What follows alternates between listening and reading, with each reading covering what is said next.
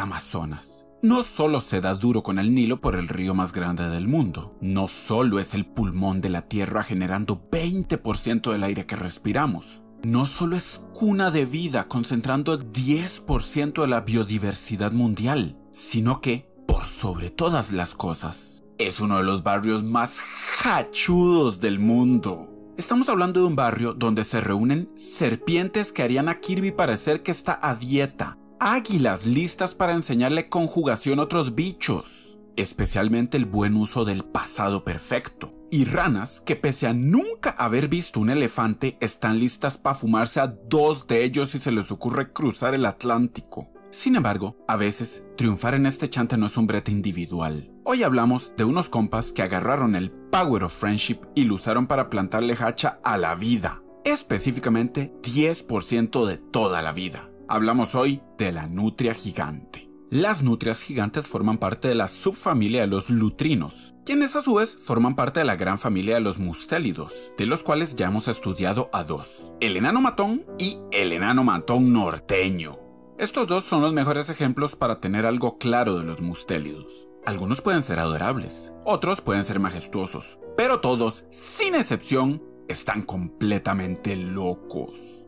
Los lutrinos en general se destacan de los demás mustélidos porque vieron el panorama mundial y dijeron, Mae, nuestros primos andan jodiendo a todo el mundo en los bosques, los desiertos, la nieve. Pero ¿quién va a joder a todo el mundo en el agua? Y de hecho, evolutivamente es interesante, porque tenemos cuatro tipos de mamíferos que echaron para atrás y se volvieron al agua. Tanto las gledes del mundo como la familia del manatí sabroso y todos los sabores de morsas llevan alrededor de 50 millones de años desde que acularon de la Tierra.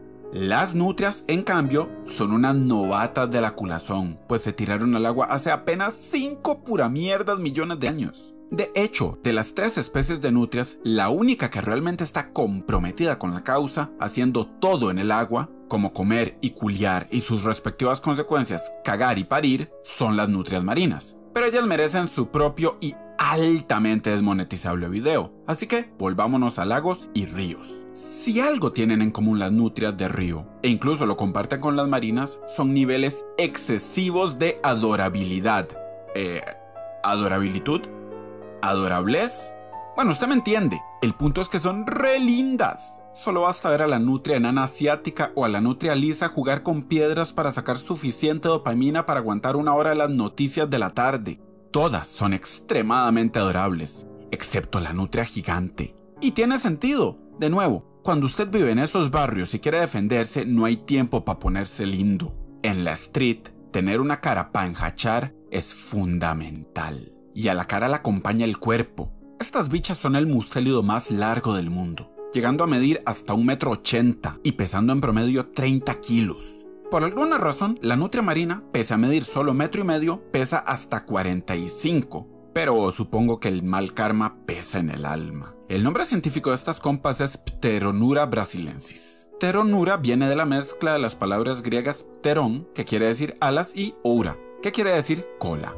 Es decir, con colas en las alas. ¿Sabe qué? No, suave, me la pelé, eso sería estúpido. Es con cola en forma de ala. Brasiliensis, por su parte, no viene del griego porque los griegos no sabían que existía Brasil. Tal como lo mencionamos al inicio, los chantes de estas compas están en las cercanías del Amazonas y sus afluentes, así como también en el Orinoco y Río de la Plata.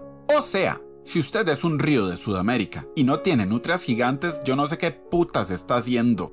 Y sí, lo estoy viendo usted, Río Paraná.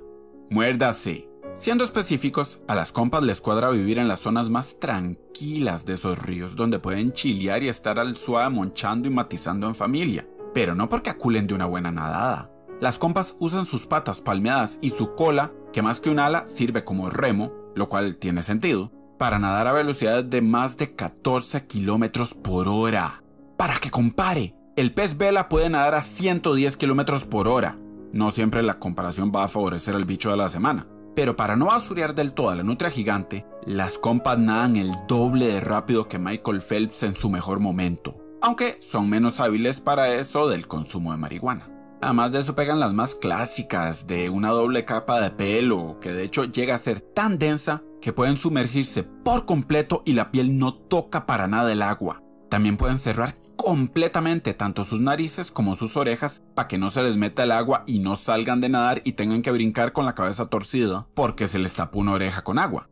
Uno simplemente no puede hacer eso y seguir siendo hachudo. Finalmente, para poder ubicarse en el agua tienen una excelente visión y para cuando la vara se pone turbia, no, no turbia como las nutrias marinas, sino aguas turbias, las compas tienen sus bigotes o vibrisas que, a diferencia de los humanos, no solo les sirve para hacer cosplays inapropiados, sino para sentir los cambios en la presión del agua y las corrientes por más tenues que sean. Todo esto se traduce en, si usted es un pez y está en terreno de nutrias gigantes, usted ya no es un pez, usted es un presashimi.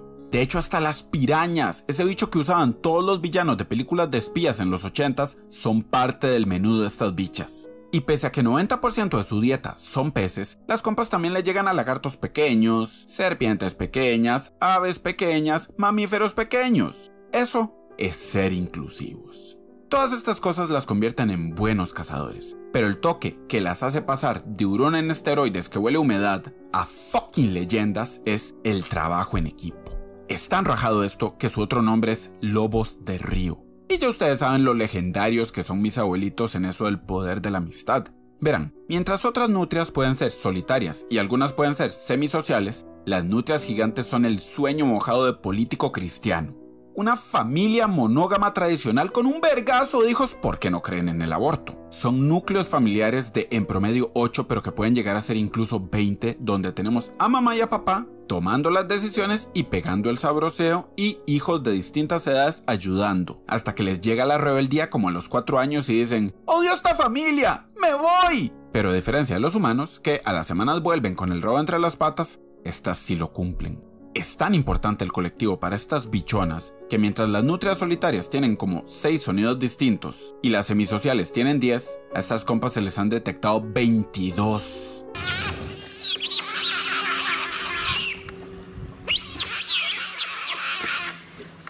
Dentro de esas familias se ayudan en todo. Las que pueden cazar, cazan para ellas, pero también para quienes aún no pueden. Según su edad, ayudan más o menos con los hermanillos menores. De hecho, probablemente por apenas llevar unos pura mierda 5 millones de años en el agua, las nutrias bebés no saben nadar, así que poco a poco papás y hermanos ayudan para que aprendan. La familia es tan vital para ellas que un estudio del 2010 vio una familia de nutrias en que la mamá se pensionó y se convirtió en una abuela hachuda nivel Gladys, que aunque ya no podía casar como antes, todavía podía enseñar. Incluso sugiere que las compas pasan por la menopausia. Y este es solo un estudio, pero de ser cierto, las nutrias gigantes serían, junto a mis panas las orcas, los únicos bichos que cuidan a sus matronas en vez de objetivizarlas y verles valor solo como formas reproductivas. Bueno, las orcas, estas nutrias y los humanos que no meten a Tita en un asilo y hacen bien en valorar más el trabajo en equipo que los Power Rangers, porque eso les dio el lugar de super depredador en el Amazonas. Dice ese bicho tan hachudo que nadie se mete con él. Y de nuevo, en el Amazonas todo el mundo se mete con uno. Es al punto que un jaguar no se le mete a una familia de estas compas el fucking caimán negro adulto, la cosa que debería ser la bestia más ajacha del río, lo es mientras no se ponga tonta. Y cuando usted y su familia tratan a un caimán negro como un gato trata a un gecko de su con, usted puede rajar que su familia es más hachuda que cualquier mierda de la que hable Toreto. Así que, damas y caballeros, estas son las nutrias gigantes, leyendas increíbles que nos recuerdan que para competir en un ambiente hostil, solo hace falta ser valiente, trabajar en equipo y de vez en cuando pegarle una llamadita abuelita por la gran puta. Llegamos al final del video, saludando a la familia de los tejones legendarios. El tecolote. Mauricio Varela. Osmo Leblanc. 14K. O 14.000, no sé. Andrea Corrales. Jazz. Matías Porras, Betio 504 Sama, Miel con Sal, Caracal Hot 95, Xian Hei Chou, Jeremy 1140B, de los pocos no corruptos en su profesión, el abogado chimpancé, Josudo, Don Joche, Jolivadet Blanco, O. Joma, Tania Mejías, Francisco González, Pan Táctico, Danilo Rodríguez, Alan Cruz, Juan José Espinosa. No sé cómo terminar este chiste, pero Minjas y un hámster entran en un bar. Pablo no saca vacaciones cubero. Eric Valverde. Mario Chicas. Sisoji con J de Jauría. Leonardo Vázquez. Juan José Hernández. Oscar Ramírez. Jaciel González Vélez. Catherine González. Edward Soto Vargas. Ken Caldi. Anderson. Edwin Hernán Hurtado y el manatí sabroso. Como siempre, ninguno de estos videos es mío, ni mierda que me acerco yo donde haya águilas arpías. Recuerden ser familia con las clásicas como dar like, hacerse miembros, comentar y recordar que los lazos de familia no son más que una coincidencia genética y si no hay respeto recíproco tenemos todo el derecho de alejarnos. Yo fui perrillo y ustedes. La jauría montada en una balsa. Bueno, me fui. No, de verdad me fui.